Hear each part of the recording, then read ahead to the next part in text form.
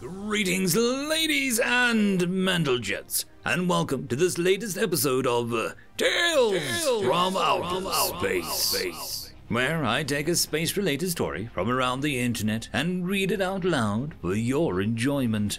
All the relevant links are down below. Please don't forget to do the usual YouTube gumph, because if you don't, the nanite swarms will steal your other sock. But more importantly, as always, I hope that you enjoy. I'd quickly like to thank the following Tier 5 patrons and channel members for supporting the channel Data Magnet and Bob the Dragon. Thank you very much. All Systems Science University, 825, written by Apophis Pegasus. On the borders of Eurasian space. No matter where, what, or who you are in the galaxy, hostage negotiations rely on three very simple questions. What do the hostage takers want? What are they willing to do to the hostages to get it? And how do you make sure that the hostages get out safe?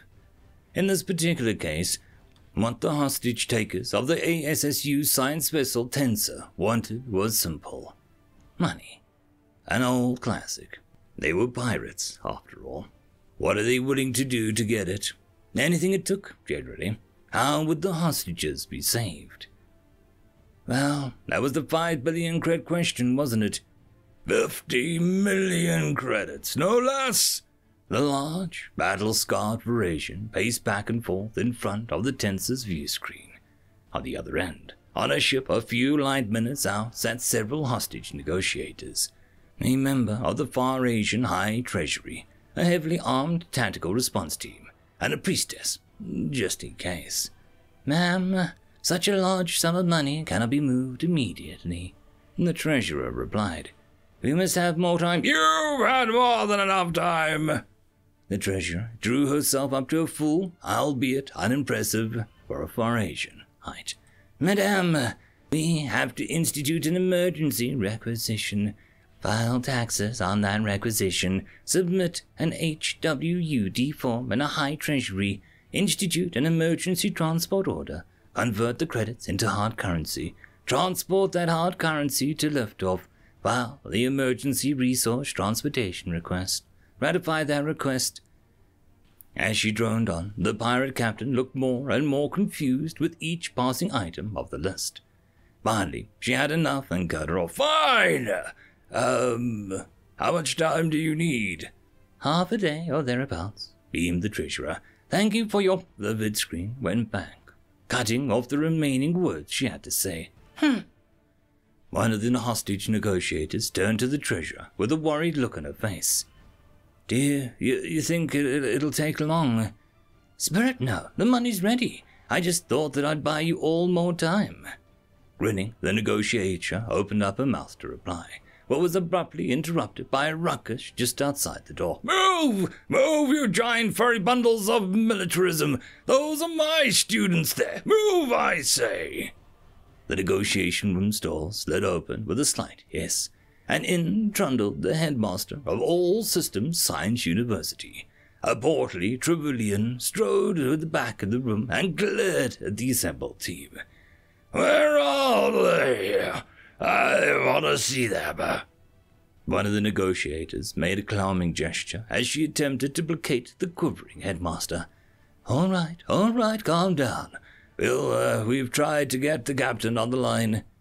Somewhat mollified, the headmaster sat down in a chair, massaging the base of his siphons. Looking up, he stared imploringly at the negotiator. How, um, how bad is it? The negotiator fixed a tense look on her face as she replied, Not good. These pirates, they're a particularly nasty bunch. Even if we give them the money, they'll probably decide to terminate the hostages. Leave no evidence. I'm sorry, but it's the truth. We'll do our best that we can. The headmaster massaged harder, groaning in frustration. Currently, his tenure was far too active for his liking. First, the humans, now this. It was too much. The beep and the comms unit caused everyone to look up.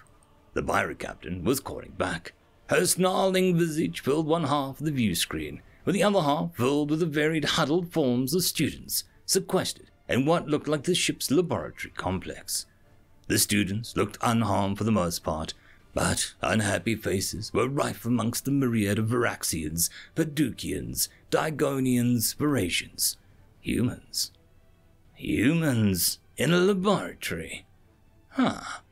The headmaster had an idea, a risky one, but an idea nonetheless. I would like to talk to one of them. He pointed at the lanky, dark-haired human. One. The pirate captain growled in her throat. I am not your butler, Trevelyan. Turning to the hostage rescue team, he fixed them with a pleading look. Eventually, the treasurer spoke up. There'll be an extra ten million credits in it for you. The pirate captain mulled it over. Grunting in assent, she left the view screen and returned shortly with the disgruntled looking hostage in question. Covering him upside the head, she growled, Speak, and no funny business. Leaning forward, the headmaster addressed the young man. Hello there. j Who is it? How is everybody? Rubbing his head, the Korean replied, Fine for the most part. Nobody's been hurt. We're, we're complying and all that jazz.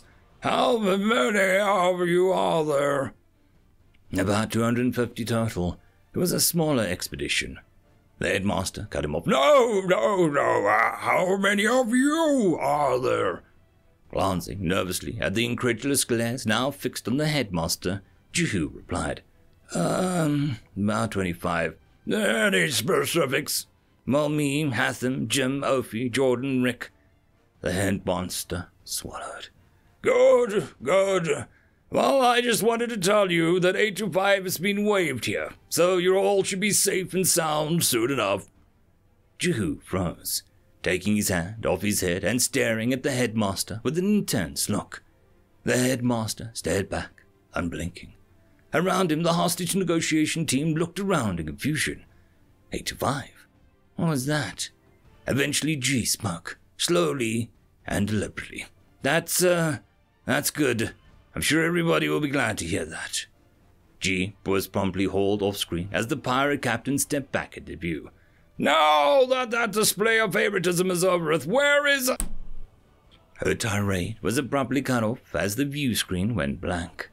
A few seconds were spent as the hostage rescue team looked at each other in confusion.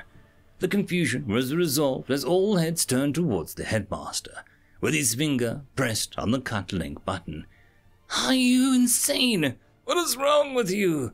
The sub minister's daughter is on board. What are you going to do? You do not ever, ever hang up on a hostage taker. Do you want your students to die?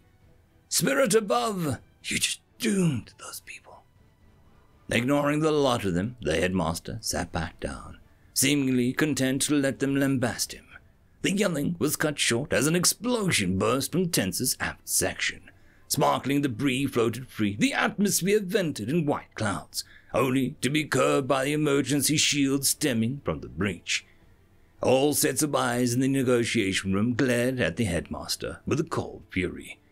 He responded by taking out a pack of human cigarettes, igniting one, and drawing deeply. Gesturing lazily at the comms unit, he drawled, You should get a call uh, back at any minute now. As if on cue, the console beeped.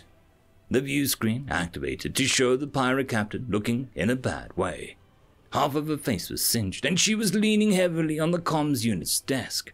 Emergency lights blared red around her, and a hellish mixture of gunfire and screams sounded in the distance. What the hell did you do? The negotiator stepped forward. Ma'am, uh, we don't know what you're talking about, but I implore you not to harm the hostages we had nothing to do with the. I'm through with your lies. Now I. The headmaster sat back in his chair with a slow smile appearing on his trunked features. His serene appearance contrasted with the pure bedlam that he had unleashed. Again? Why would you do that? The headmaster wordlessly pointed at the comms unit. The blinking comms unit. The pirate captain looked in bad shape. Burns littered her face and upper body, and her left arm trailed limply at her side. Standing, shaking, she affixed a terrified look at the negotiation room. All right, all right, you can have them back. The console beeped again. Please, spirits above, we give up. The negotiators just stared open mouthed at the view screen, not even bothering to stop the headmaster. Nudging forward, the priestess spun the headmaster around and mouthed, 825. The headmaster reached into his tunic and pulled out a computer slate and turned it to her.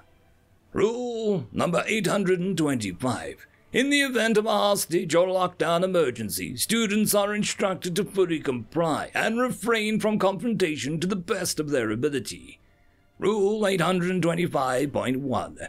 In the event of 20 well equipped humans, this rule can be waived under specific circumstances. All attempts must be made for an ethical victory. The console beeped again. The vid screen lit up with a distorted image intermittent burns of clarity revealing scorched walls, assorted rifles, and sparking equipment. I want my mommy. All eyes now turned to the priestess, who had a large grin on her face as she pressed the cutlink button. What? It's great fun. End of story. And that, my friends, concludes this video. I hope that you enjoyed, and if you do, please consider supporting the author, even by popping over and leaving a thumbs up or a nice comment, just to show your appreciation for the story. However, if you wish to support this channel, there are links down below which will help immensely. I will see you all in the next one, and until then, I hope that you have a fantastic day. Cheers.